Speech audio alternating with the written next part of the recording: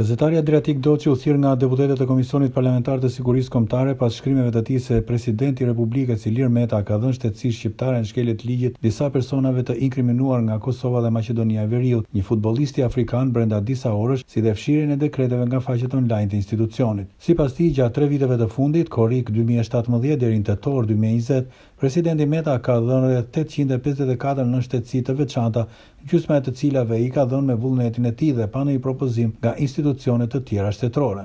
Nga verifikimi që kam bërë unë, rreth nëntëdhjetë për qind të personave që kanë marrë nënshtetësinë si përjashtim nga ligji, si personalitete ose në emër të interesit kombëtar, nuk janë as shkencëtarë, as sportistë dhe as nuk shquhen në ndonjë fushë të veçantë për të cilët Shqipëria mund të ketë një interes të veçantë për të justifikuar pikën 7 të nenit 9 të ligjit, i cili tashmë është shfuqizuar.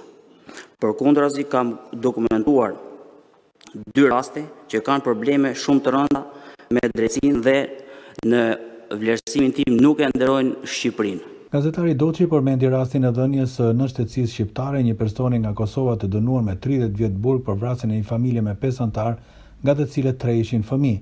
Po ashtu ai renditi edhe dhënien e nënshtetësisë së një futbollisti afrikan brenda disa orëve, duke shtuar se shkelja e afateve përbën shkelje të ligjit dhe ndërkohë ky person po hetohej për falsifikim dokumentash.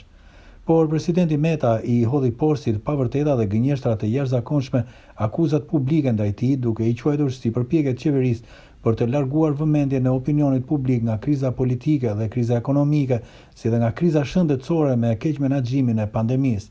Presidenti Meta ekspozoi në takimin e fundit me shtypin dosjen e futbollistit, sipas tij krejtësisht në përputhje me ligjin.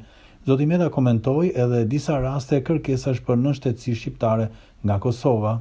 Sa i takon shqetësimit për familjarë të heronjve të UÇK-së, që për arsye të ndryshme, sepse dihet kufizimet që ka Kosova, në respekt edhe të propozimeve të ndryshme që kanë ardhur nga Presidenti i Kosovës, nga Kryeministri i Kosovës apo Ministri i Jashtëm, apo dhe Ambasada e Republikës së Shqipërisë, tani unë e kuptoj që për klyshët e UDB-së ata terroristë quhen.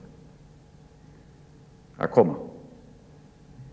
Por ata janë familjarë të heronjve, të patriotëve edhe të atdhetarëve. Para Komisionit Parlamentar të Sigurisë Kombëtare, gazetari Adriatik Doçi renditi një seri emrash nga Kosova të cilët sipas tij kanë probleme me ligjin atje, një ish-zyrtar të dyshuar për korrupsion e të tjerë.